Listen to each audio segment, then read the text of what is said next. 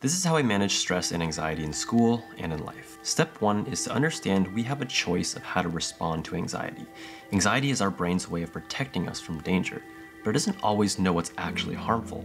So no matter how tough it gets, no matter how much you want to rip out your hair and burn your books, remember that you have a choice of how you want to respond to that stress. Step two is to choose gratitude. Be grateful for the work that you've done, how far you've come, and the progress you've made. Be grateful that you're even thinking proactively about your anxiety in the first place and looking for solutions. This allows us to reflect on the facts that we aren't screwed like our anxiety wants us to believe.